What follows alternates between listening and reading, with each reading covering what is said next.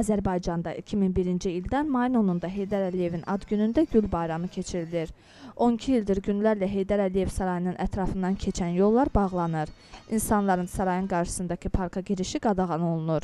Mayın 10-da bayram başlayır, mayın 15-də sona çatır. İlbəil alınan güllərin çeşidi, çəkisi artır. Kompozisiyalar çoxalır, mürəkkəbləşir. İnsan əməyindən istifadə artır. Məsələn, ötən il Bakıya 116 ton gül gətirilmişdi. Bu il bu rəqəm 2 dəfə çox artaraq 250 ton olub. Paralel olaraq gül bayramlarının xərci də artır. Ötən il bayrama 25 milyon xərclənmişdi. Bu il söhbət 60-70 milyondan gedir. Bu hesabla gül bayramlarına 300 milyon manata yaxın pul xərclənib. Güllər əsasən Hollandiyadan, İrandan, Almaniyadan, İtaliyadan gətirilib.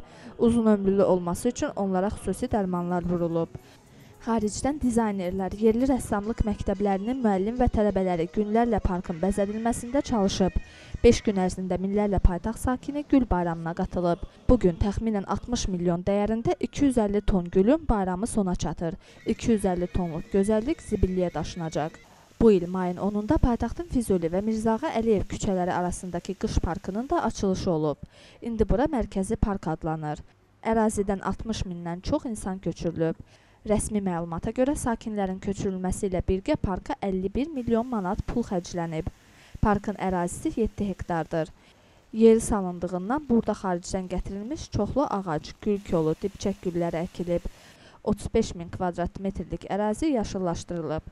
Dibçək güllərinin bəzisi gecə ikən yoxa çıxıb. Onu aparıb necə apardı onu? Yox, gecə bəs burada gözətçi olmur. Təzə əkilmiş güllərdir. Hər qabda bir topa yoxdur, bir topa yoxdur. Hansı? O başdan, o başdakı bax o ağ qablarda hərəsindən bir topa, bir topa yox. O heç, olsa sonra yığışdırılırsa olur. Niyə? Sonra vaxtında.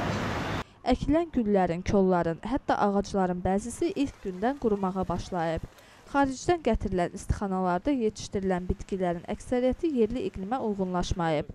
Bu gün qış bulvarındakı dibçək gülləri də parkın ərazisini tərk edəcək.